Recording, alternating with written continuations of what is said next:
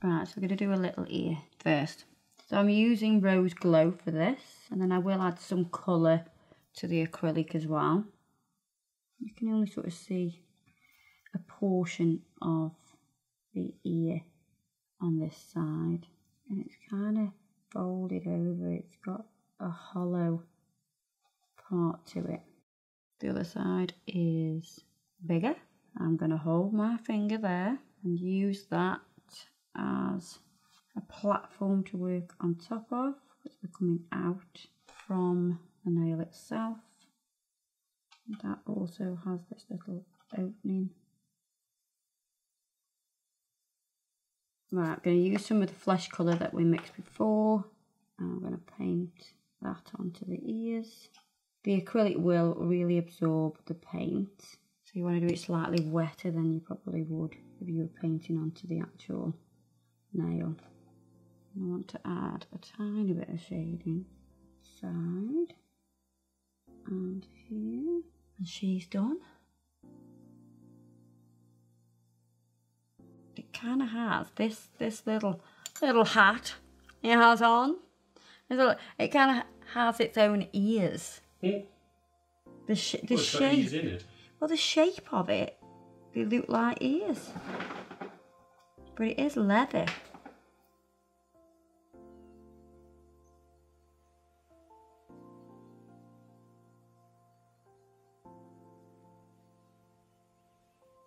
So you see what I mean about looking like ears? And then we've got, it's kind of layered. So we're going to do another piece of the leather hat here. I wonder if they like sit and make these. I'm sure they do. Like the little Gelflings. Because they're real. They're real, of course. Of course. Of course they are. In Gelfling World, Mm. or whatever it's called. we need. I'm going to do this in sections because we need full covering at the back. At this point, if you're thinking the hat isn't black, Kirsty, I know. Don't you know I'm an expert?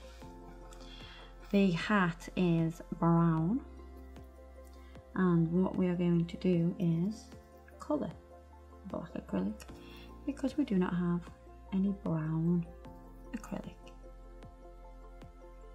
Not that hasn't got glitter in anyway. And it's not a glittery hat. Which is silly really. I mean why not have a glittery hat? Why not?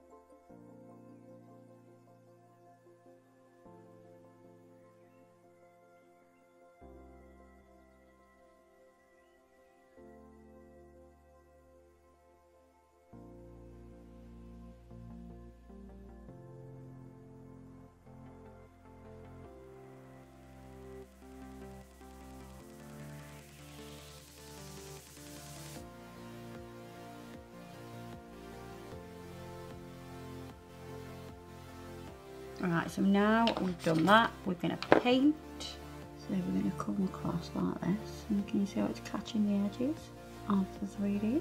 So the paint is catching the edges. So you don't want absolutely bucket loads on your brush, you just need enough to catch those edges and add some colour. Go this way as well. You need to be a little bit more careful because I don't want to touch the face. And you get that kind of old leather look by doing this as well.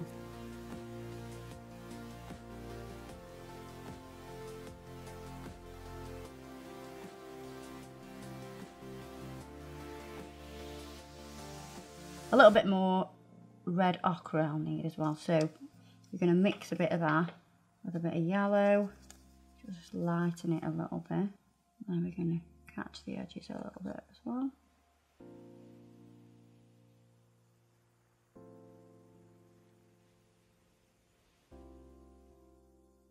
Then mix a little bit of white with that previous colour. It's kind of like a tan colour. And again, we're going to dry brush a little bit.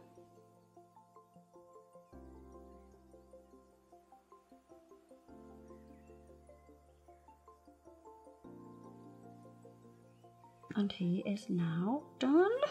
What I wanted to do first of all is on top of here, I want to use this colour, which is Sumptuous Flamingo. Sumptuous. Two words I never thought would go together. I don't know why that's even been thought of. That is a nice colour. but is it as sumptuous as a flamingo? I don't know. I'm not sure. So I'm going to take some of that colour.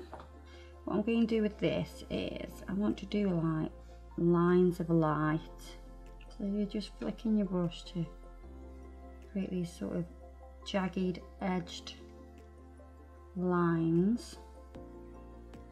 So quite solid in the middle and flicking off. I'm Gonna cure that. I'm Gonna take a spatula, some Acrygel, gel residue wipe off solution on my brush. I'm gonna pop this on and move this around so I get it in the position that I want it.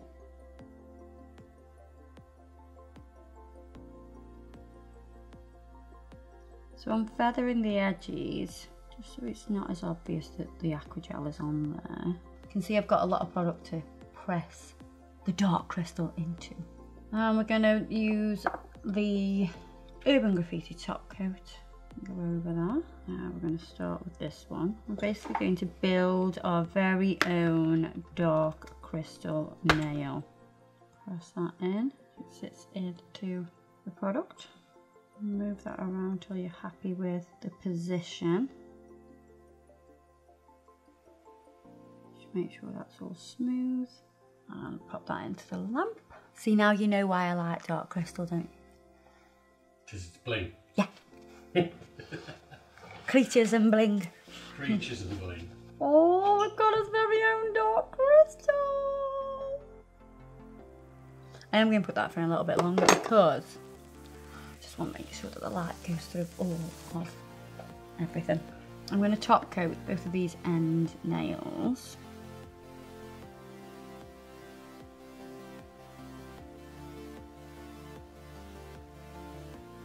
So we're going to use some of the metallics. This is number 96. It will have a name. And then, let me just tell you a little bit. Let me just educate you. So, the um, Skeksis are like, they're like, my brother says they're bird people. Yeah, they do look like it. yeah, they like, and they're so ugly. They're so ugly, hence we haven't made one of them today because they're very ugly. Um, and they like, they like got great voices. They're like, yes, yes, It's like you one morning. yes. They've got great voices. Um, and they have got like their own language as well. And when they made the Dark Crystal, um, there was a guy that actually developed this language, and he used to email people in the language that were working on the set, and they'd be like, "Okay, we have no idea what you are It's like Klingon saying." then, like uh, Yeah. Star Trek thing. Yeah. Klingon language. Yes, and um, there's like a there's like a dictionary which is like a triangle book that opens out and it's got pages that all fold and everything like that. And it's amazing. It's an amazing piece of art in itself. Um, so I'm going to use some of those symbols. So I've, I've lifted off a picture that has. If you look at this, this is from it. So if you can see these symbols, you see how there's like lines, swirls, dots. So we're going to do those kind of things on those two nails because I think they look pretty cool. So it's all about lines and curves. Apparently, curved things are more expensive to get made than straight things Oh. Mm, when you've got props and things like that. Ooh. I don't know why, but yeah. And this bit's not that hard because everything does look very hand drawn. You know, there's, it doesn't look like it's been made by a machine. So it's easier to replicate when it's like that.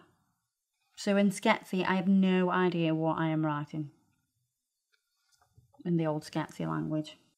You can pop that in the lamp to dry. It will air dry as well.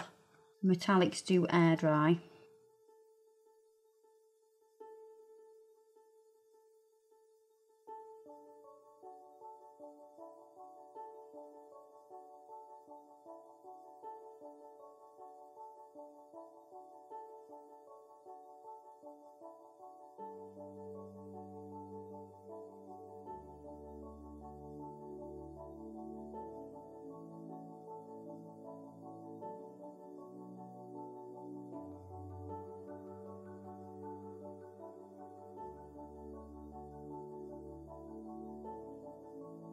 Think with the uh, cat's eye in the background, it looks really cool, doesn't it?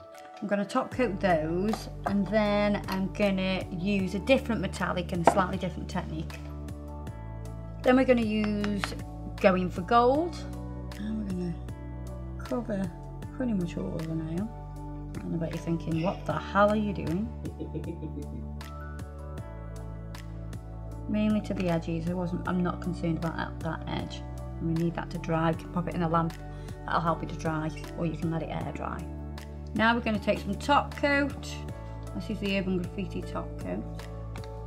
If you look at a lot of the stuff in the dark crystal, can you see how they like loads of filigree kind of swirly designs?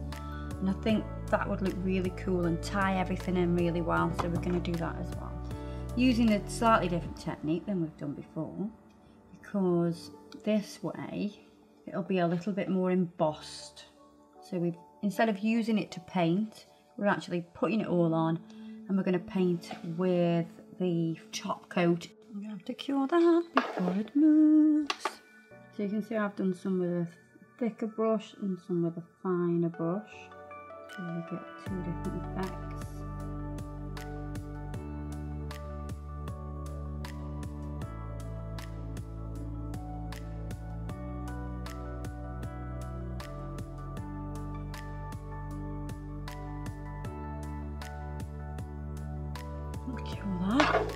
I'm going to do a similar thing on this nail.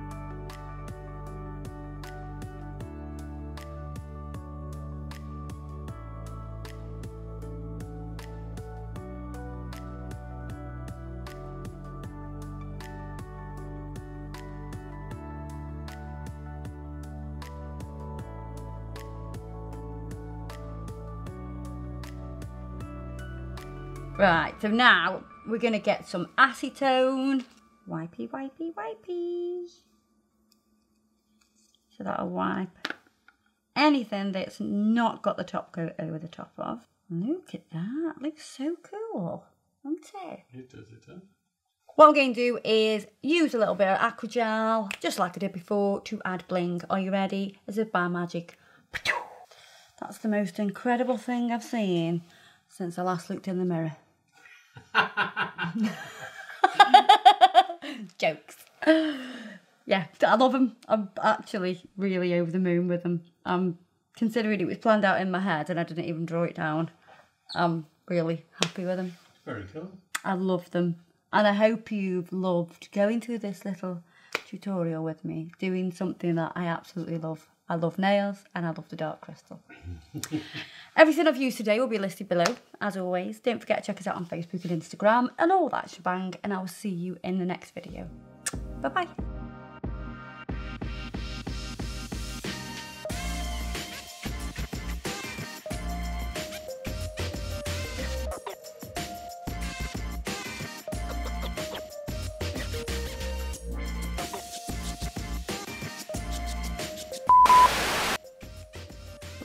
blablabla. Blablabla.